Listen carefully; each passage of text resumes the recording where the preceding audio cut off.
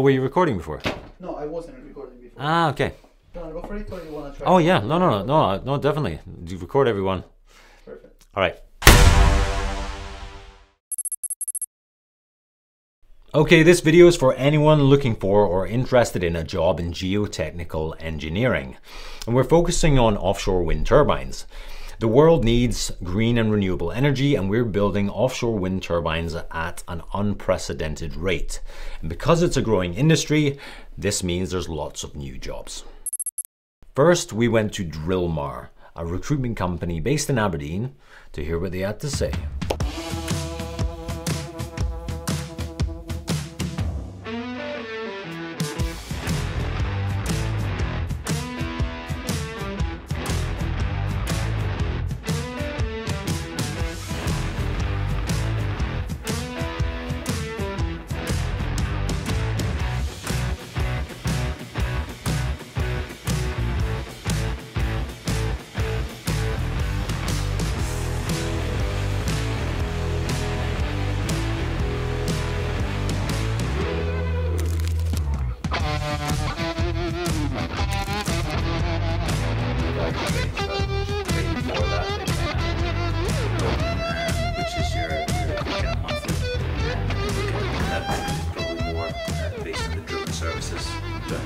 Side of the industry. At Drillmar, we learned that geotechnical engineers are very much in demand. Most of their client requests come from oil and gas companies, and especially in drilling. However, with offshore wind turbine industry a way to kick off in a big way, there's going to be a lot more jobs there. Now, the salaries can vary a lot, and the lower end for graduates and starters, it goes from £18,000 per year all the way up to about £60,000 per year, plus any offshore day rate bonuses, because every day you work offshore, you get extra money. The qualifications Generally, they look for geology degrees or some sort of geoscience or engineering that has like a strong materials element to it. So then any existing experience is a massive plus. And here are the companies that often look for geotechnical engineers. All right, all of that information will be in the description below. That is the Drillmar report. Now you will see a video call with Ashley Tarr, a senior project manager for a company called Aratellus. Now Aratellus have a subsea geotechnical drilling and sampling tool used for the construction of offshore wind turbines. And this tool is called the Sword. We've made a video about the Sword and how it works and how it fits in the big picture. We'll leave a link in the description for you to check that out. Just a heads up, Ashley's video footage is a little sticky because of the Wi-Fi of where he is, but the content is great. Our first question to Ashley is, could you give us a brief explanation of what geotechnical engineering is? I mean, essentially, it's understanding the properties of the soil. When I say the properties, it's the the engineering properties specifically, how it behaves, drained or an undrained state. Also, how the particles of the soil interact with each other, and ultimately its ability to hold up whatever structure it is that you plan to put on it or in it. For me, that's what geotechnical engineering is.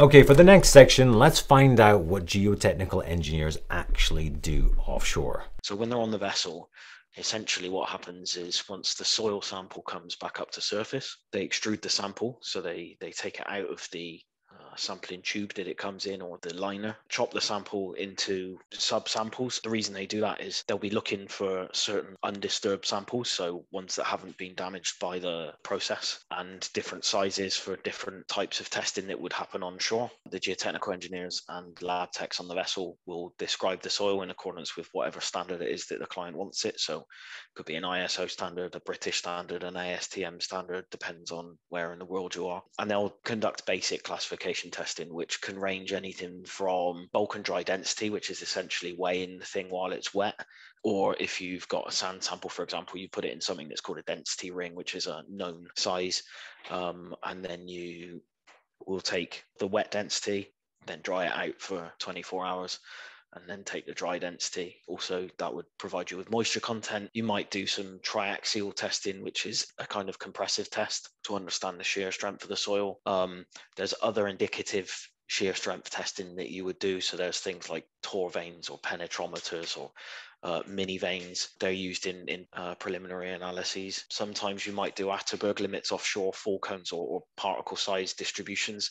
Um, it's not very common. Um, those kind of things tend to move forward into the onshore phase. The other thing that happens offshore, we've got different probes that you can put into the ground. And what they give you is they give you kind of electronic readings that allow you to interpret the properties of the soil based on forces that are being applied. A, a, lot of the time, when you're offshore, you'll do a campaign that comprises both sampling and CPTs to make the project more economic for the client and to obviously fulfill their their requirements because conducting a CPT borehole is quicker than conducting a sampling borehole. Um, so it allows them to uh, they will take PT profiles that they get, cross correlate them with the samples.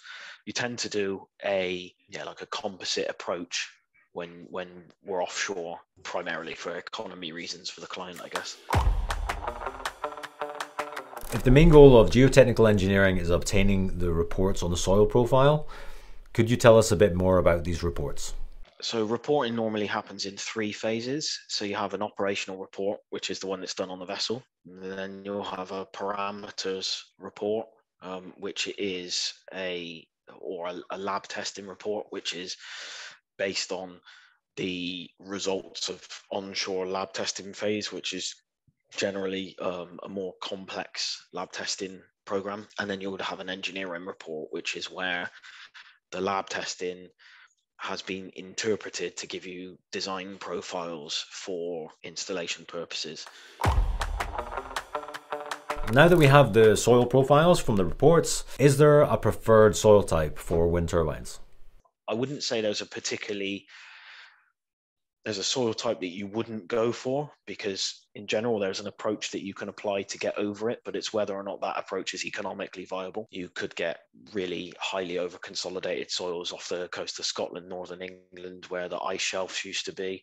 Those soils are challenging because obtaining the data in the first place is hard because it's really difficult to recover high quality long samples. So to perform advanced lab testing programs is is difficult but that doesn't mean that installing a turbine there is difficult because it's a really good capacity soil for throwing a turbine in but you just you know you need to be able to obtain the data to satisfy everybody that it that it is you know? The difficulties in actually getting the sample not in the not in installing the turbine. Yeah exactly yeah Okay, we've been over the practices and the reports. Could you tell us a bit more about your personal experience working as a geotechnical engineer? I started off as a geotechnical engineer offshore, and then I worked for a while as an offshore project manager, so managing the, the technical team on the back deck to satisfy the client requirements. I think that being in this industry allows you to um, kind of adapt your lifestyle sorry adapt your work to your lifestyle. Um, and it's got a bit of everything for for everyone.